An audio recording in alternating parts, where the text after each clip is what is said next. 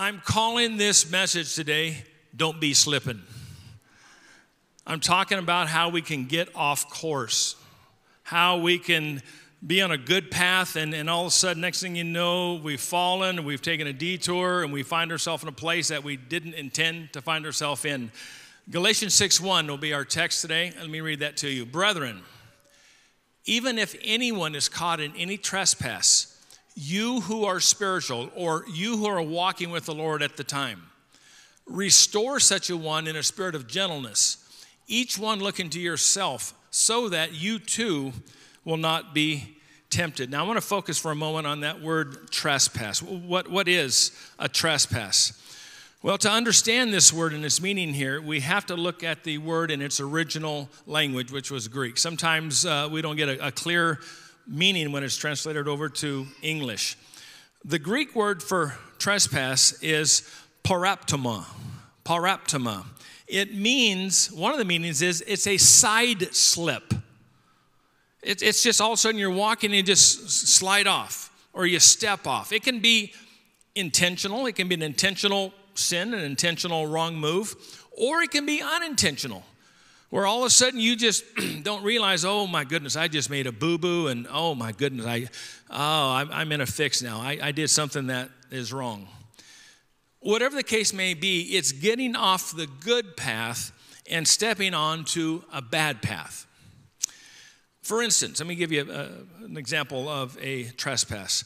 I think King David's sin, infamous sin with Bathsheba, I think that was a trespass. I don't think David woke up and said, you know what? Who can I commit adultery with today? Hmm, who's going to be my. No, I, I, think he got up and just planned on being a king. I think he went about his normal thing. And then, for whatever reason, it says that he couldn't sleep. He woke up, went out on his terrace, looked down, and a woman was bathing in the light, and, and that started the ball rolling. But I don't think he woke up intending that. I think he just fell into it. He, he took a sidestep. I believe that's how most of us sin. I don't believe many of you wake up and say, you know what? What's it going to be today? What am I in the mood for? Do I want a little immorality? Do I want a little stealing? Do I want a little losing my temper? Am I just going to just blow up on people? Like, well, what am I going to do today? No, I don't. I think most of you, most of us, wake up saying, "I want to do right today. I'm gonna. I want to follow God. I want to do uh, the things that I should do as a Christian." But yet, somehow, some way, something happens. You, you, you, get slipped up. You get off the path, and you find yourself at a place like, How did I get here? I didn't plan on this. This wasn't in my daily to do list today. I think what I've seen in experience and what I see in scripture, there's three causes that we have spiritual slips. Here's the first one it's when we let our guard down. We just let our guard down.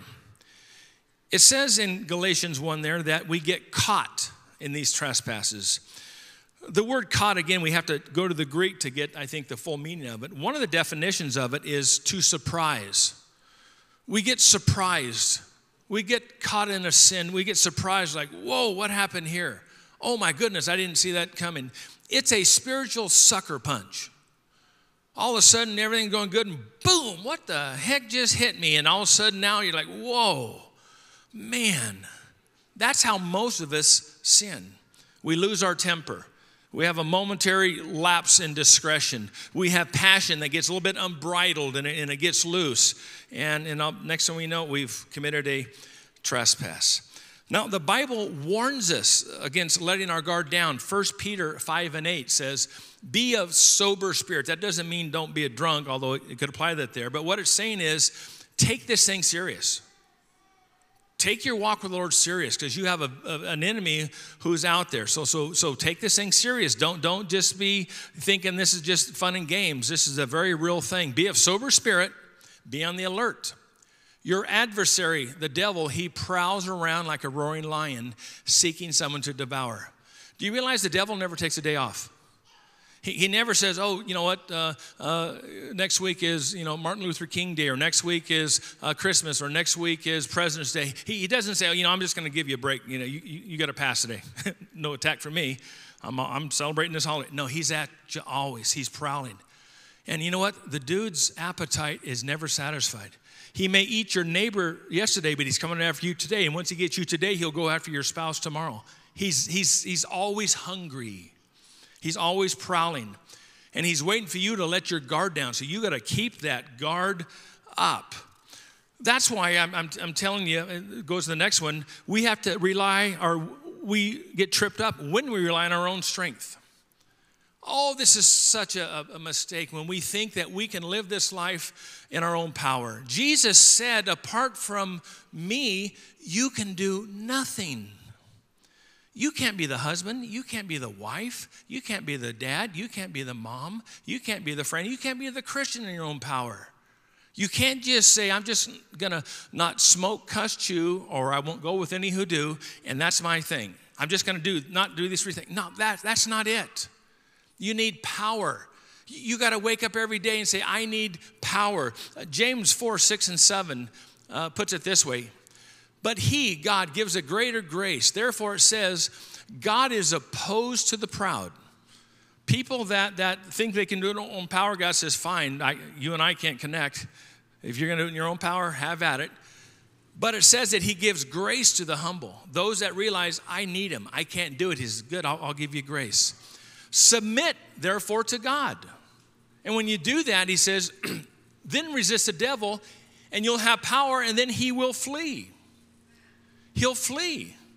But you got to have the power to be able to resist. You have to wake up. I have to wake up every day and say, Lord, you know what?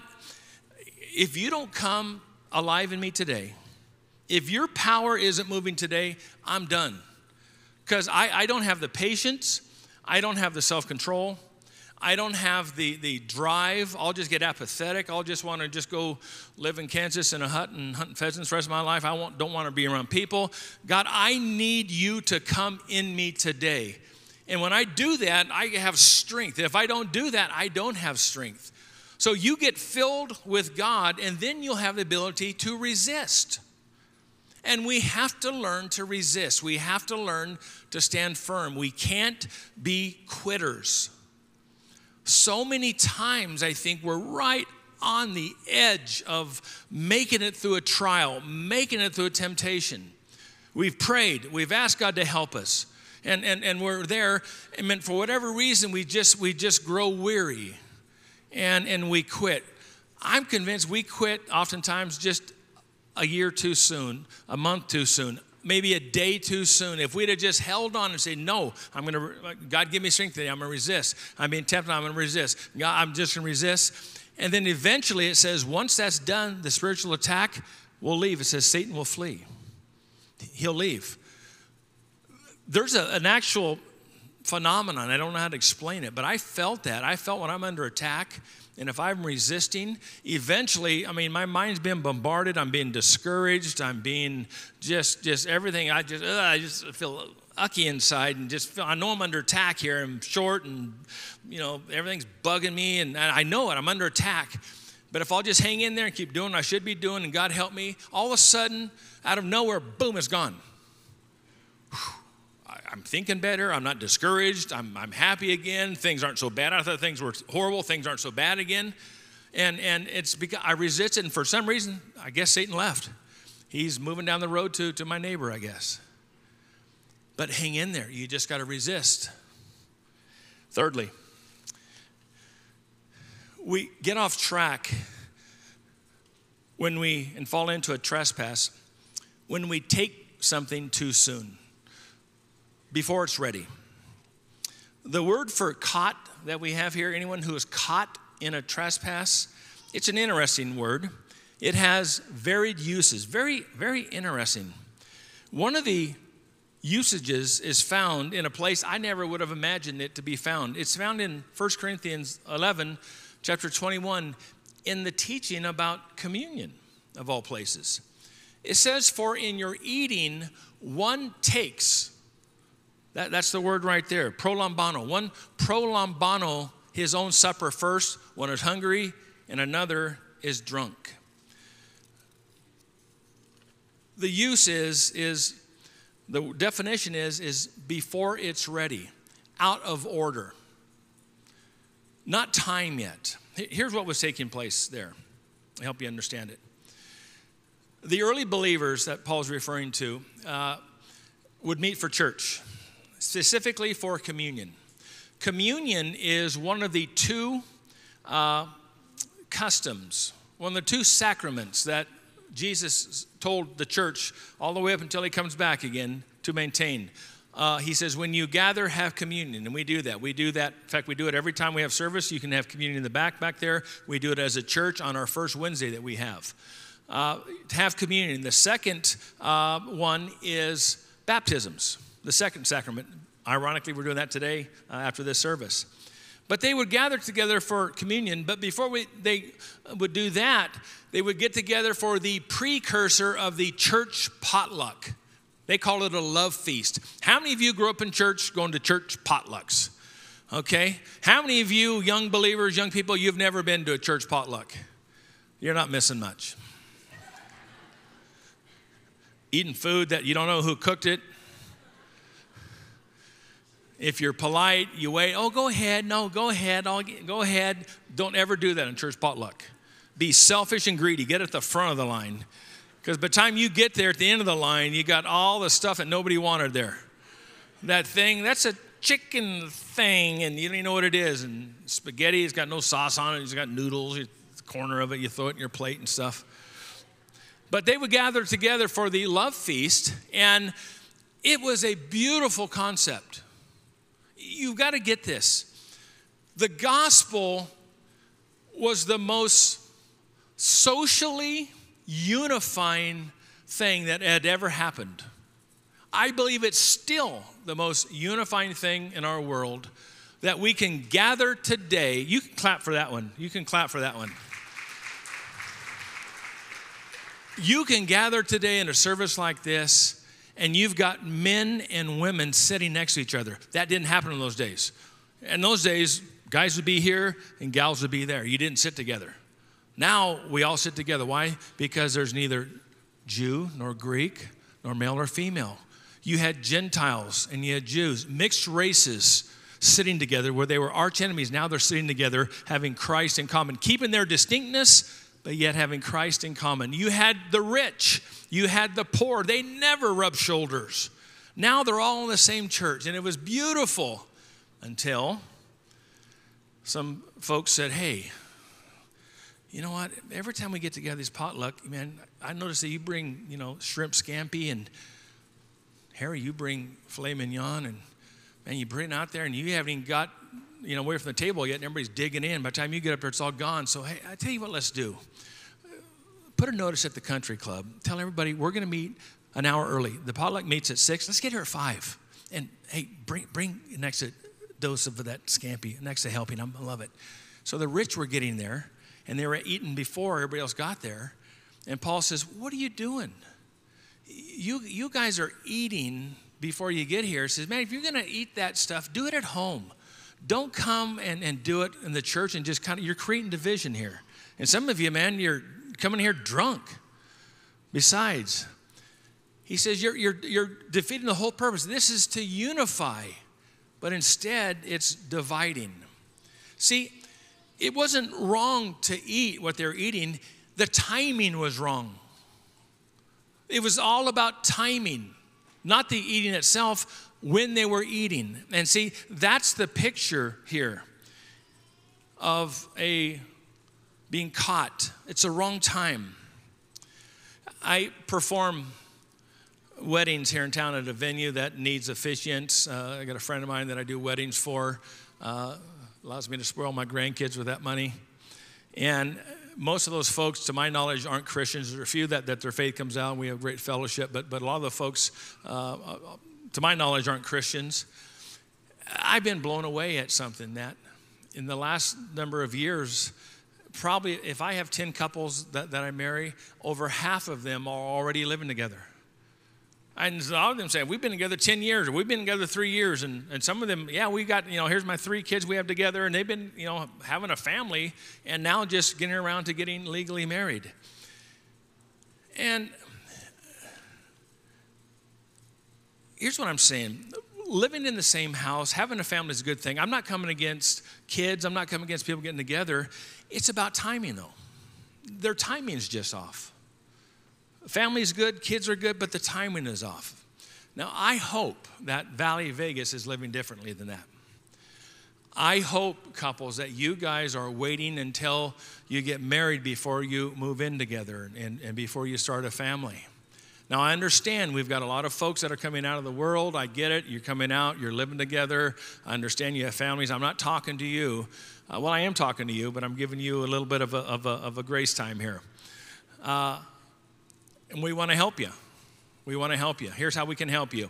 If you're here and you're in that situation and, and God's convicting your heart and you want to get it right, we want to help you get it right. I'm going to offer you what we call here our Wednesday night special.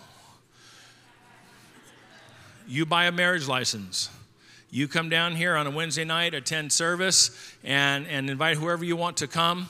And after service, we'll do it right here. We'll go up to the prayer room, we'll go in the green room,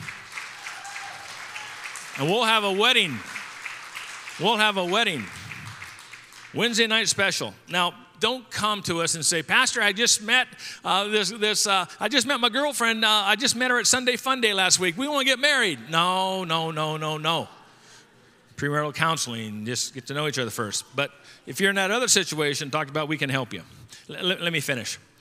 Let me conclude with this. We get caught up in trespasses, but the second part of verse 1 says this Galatians 6 1.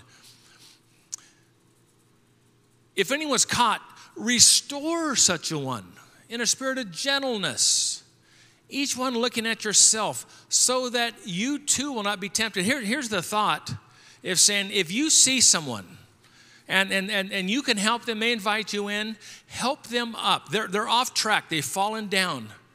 But by all means, don't just grab them. That word restore means to mend or to put back into place. It's like a broken leg, maybe a compound fracture, maybe a dislocated knee.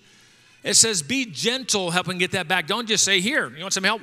And just pull that thing. Ah, you leave them worse off than they were. Be gentle. And, and, and why? Because you too may be tempted. Look into yourself. How would you like to be in that situation? How would you like to be treated if you fell down? We'll treat them that way as well. And by doing that, it says in verse 2, by doing that, you're bearing one another's burdens and thereby fulfilling the law of Christ. You're serving God by helping people. How? By fulfilling the law of Christ. What's the law of Christ? Easy, two things. Love the Lord God with all your heart, with all your mind, with all your soul. And what's the second one? Love your neighbor as yourself. That's the law of Christ. Love your neighbor as yourself. Love him, help him as if you were helping yourself. Keep that in mind. Now, here's, here's some things to keep in mind when you do that. Number one, make sure they've asked for your help. Don't just assume they want your help because some people don't want to be helped. Or some people will say, well, Get out of my business. I have invited you in here's thing. So, so don't get in their business unless you've been invited in. Number two, be gentle. Their sin has them in pain. By the time it comes to the place where they invite you in, ask for some help. Hey, man, can I tell you what's going on? Will you pray for me? At that point, when it's out, you don't need to convict them. You don't need to say, Yeah, I'll help you. But first, uh, what were you thinking? How dumb are you? Man, you've been a Christian for five years. I can't believe it. No, they're already convicted. They're, they're, they're That's why they're telling you, pray for me. I'm goofing up. So you don't got to convict them, they just need comforting. Thirdly, help them get back on the good path. Help them. Don't just say, you know, I'll pray for you, brother, but if you can help, help them. How? By encouraging them. Follow up. Accompanying them to places that they need to be, places that'll help them get back on track. Hey, man, you want to go to church? I don't have a ride. I'll come get you. Hey, you want to go to the marriage conference? You want to go to the uh, Monday night connect with the ladies? Yeah, well, I'll, I'll come get you, or I'll meet you there. You can sit at my table. Help them get back on track. I'll end with this. I promised you something I'm going to fulfill. I promised you a couple weeks ago when I ran out of time, I would tell you the story of Teddy. It's one of Valley Vegas's Valley Bible Fellowship's all-time great testimonies in the nearly 50-year history of our church. Uh, here's what happened. Uh, years ago, I want to say 2008, 2009, at our old building up at uh, Flamingo and Durango, Pastor Ron was uh, speaking over here more often, and, and he brought Debbie over one time, and they went down to Fremont Street and uh, just kind of looking around, see if God wanted to use them, and just kind of being tourists. Well, they walked past, uh, there was a, a line of homeless guys sitting there kind of on the ledge of a casino. He said, but one stood out. He said he didn't fit. He just didn't fit. So they walked by him and, hello, sir, and he kind of looked up and they said, man, this guy didn't fit. Walked back later and, hello, sir, and Pastor Ron said, I'm going to ask him if he's hungry. Sir, are you hungry? Goes, yeah, I, I I'm hungry. Would you like a hamburger? Yes, that'd be great. Pastor Ron Debbie went down, bought him some hamburgers, came back, and, and, and uh, here he goes, sir. What's your name, sir? He goes, Ted. Well, Ted, I'm going to pray for you. All right. So they went, got in their car, were driving out, literally left the parking lot. All of a sudden, Debbie says, Ron, we can't leave. And Ron said, I'm saying the same thing. I knew we weren't supposed to leave. God wants to do more. So they turned around, parked, walked back to Fremont Street, and there was Teddy still, and said, Sir, we'd like to get you a room for tonight. And it was, I think it was in the fall, getting cold at night. Oh, thank you. So they took him down, to, I think it was the Californian down there, uh, across from the bus station, took him down there, got him a couple nights. And then Pastor Ron left. And so he left, he says, Hey, I, he told me the story. He said, I ran into this guy. He said, Can you check on him? I said, Yeah, I'll check on him. So I went down there uh, one night, and sure enough, there's Ted sitting there. And I said, Ted, I said, uh, I'm Doug, and Pastor Ron sent me down here, and what's going on? I said, why are you out here? He goes, well, I, I get $615 a month Social Security. Uh, but that only lasts me about uh, 15 days. I, I, stay in this hotel over here, and about the 15th, 16th of the month, I run out of money, and so I'm, I'm out on the streets until the first again. So I just kind of hang out at the casinos. Uh, I, will you know hang out here and, and just work safe and stuff. I sleep on the bench. I said, "Oh my gosh," his you know he, he wasn't totally dirty. He's remarkably clean for living uh, on the streets, but you could tell he wasn't well. He just wasn't well. And I said, Oh, Ted, I said, Well, hey, we're going to help you. So we got him a room. I think we got him a room for seven days that time. And that began a process where I'd head down there about the 15th of the month and see Ted. And we did that for a couple months. I said, Wait a second, we can't keep doing this. This isn't sustainable. We got to get a permanent solution. I said, Ted, we want to get you off the streets. We want to get you an apartment. Oh, that'd be great. I only have $615 a month. I said, Well, let me see what we can do. And I looked around and I found a brand new senior apartment area down there, beautiful, that was only like $300 a month or something, uh, that government uh, assisted. But the problem was I had like a six month waiting list. And oh man, I said, well, let me get my name on there and told our story, what's going on with this guy. And so I told everybody, pray, pray, pray, pray. We need God to open a door, pray. And son of a gun, two weeks later, I get a phone call. Hey, Mr. Loman, yeah, our, we, we have a, a, unit open. Would you like to come down? She, she hadn't even done talking. I was, boom, dropped the phone. I was gone. Gave her the money. Got Teddy in there, rounded up some furniture for him and, and pots and pans, a few clothes for him. And by this time, it was summer. And, and so we set the thermostat for him. We set it at, I said, Teddy, how do you like it? Is this feel good? Yeah, okay, this is 72. Just leave it here I said, Teddy, this is it's on auto. Just leave it, leave it there, and uh, it, it'll be fine. Okay. So we, were, we started bringing him food every week. So I made my food run. I did this for about a year. I made, made a food run and brought him some food. And I walked in there, and it was a sauna. And there's Teddy in a recliner in his underwear, sitting there with a cold towel in his head, just laying, out. Teddy, what are you doing? Oh, he called me Parson pastor instead of Parson, Parson, like Parson Brown in the Christmas tune. Old school. He's from Pottstown, Pennsylvania. Ted Kovaluk, Polish guy.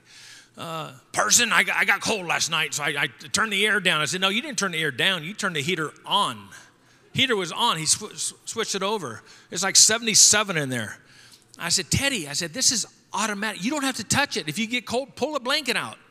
But leave this thing alone. Okay, Parson, come back next week. Teddy! And hot again. Anyway, we went through that. I brought in my daughter in law, married to my son Seth, and they, they came in and she started uh, helping. And Carrie said, I wonder if he has any family. So she, she kind of pumped him a little bit. He was very hesitant to tell us what was going on. To this day, I don't know what led him to be homeless. He, he never disclosed it, and I didn't feel it was my place to push it if he wasn't going to disclose it. But, but he uh, did tell us he had family in Michigan. So my daughter in law got on uh, social media and found a relative in Michigan and called her and said, uh, Hi, I'm Carrie, and uh, we have a man by the name of Ted Kovalek. Is, is he your relative? Oh my gosh, that's my brother in law. We have not heard from Ted for years. We didn't know if he was alive or dead. I said, Well, he's alive. She said, He's here in Las Vegas. Janet was her name, married to Ted's brother, Mike who was a pastor and had passed away. Janet was now a widow. So we made arrangements and, and we flew Ted back to meet his family in Michigan who hadn't seen him for years. So he went back to Michigan, stayed a week, came back, and how'd you enjoy your trip, Ted? Oh, it was good, Parson. I really enjoyed it. And, and uh, in fact, they want to bring me out again next month. So next month, he said they're flying me out. So they flew Teddy out. And then I lost contact for three weeks. I call him, no answer in his apartment, call him. And, and I wouldn't try how long he's going to be gone. It was a month later. He comes back and, and says, Hey, Parson, I'm back. And come pick me up for church. We, I'd pick him up for church and bring him up to the building up there. And he says, Parson, on the way up to the church, I got to talk with you.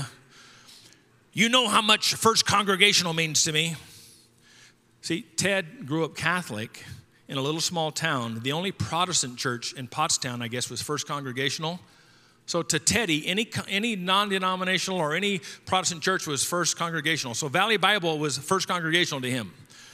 Parson, you know how much I love first congregational, but I got to ask your permission. I want to marry my sister in law. I started thinking, wait a second, is this, light, is this legal? Is this like polygamy? Is this uh, Arkansas hillbilly song? What are we doing here? No, I, th- I, I, th- I think it's okay. Yeah, I fell in love with her. And she's a strong Christian. I said, Well, that's awesome. Now, his brother Mike was a pastor.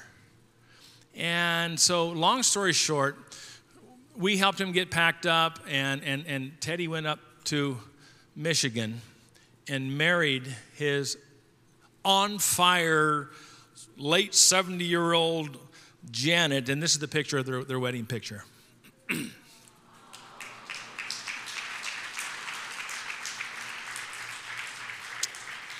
I got a call from Janet two weeks ago. Teddy passed.